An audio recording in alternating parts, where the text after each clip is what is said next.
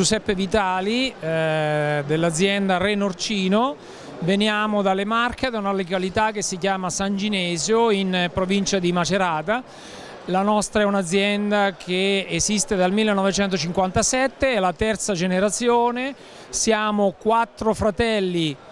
io, Giuseppe, Massimiliano, Giovanni Luca, Giampiero con il supporto di nostro cugino eh, Stefano che seguono tutte quante le fasi eh, diciamo della lavorazione. Dall'allevamento del maiale che è la nostra attività principale fino alla produzione dei eh, salumi. Salumi che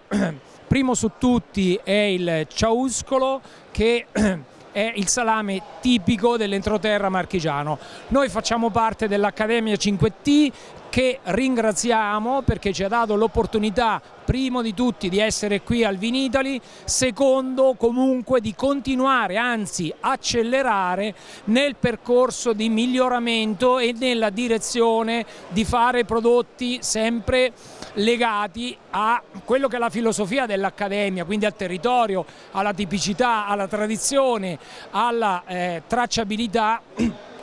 no, del, eh, del, prodotto. Eh, dicevo prima il ciauscolo, il ciauscolo è un salame eh, tipico dell'entroterra marchigiano, noi abbiamo una versione che si chiama campagnolo che si è aggiudicato eh, diciamo negli ultimi due anni eh, miglior ciauscolo al campionato italiano eh, del salame, è un prodotto, è un salame antichissimo, il nome deriva dal latino ciauscolum, è questo prodotto che voi vedete che è il campagnolo, che è un salame spalmabile da spalmare sul pane è un salame che veniva portato dagli antichi romani nelle missioni di conquista. La nostra missione è quella di far conoscere questo salame il più possibile in giro eh, per l'Italia perché è un salame molto legato al territorio ma purtroppo rimasto ancora troppo all'interno dei confini del territorio eh, marchigiano e anche attraverso l'Accademia 5T eh, contiamo di promuovere questa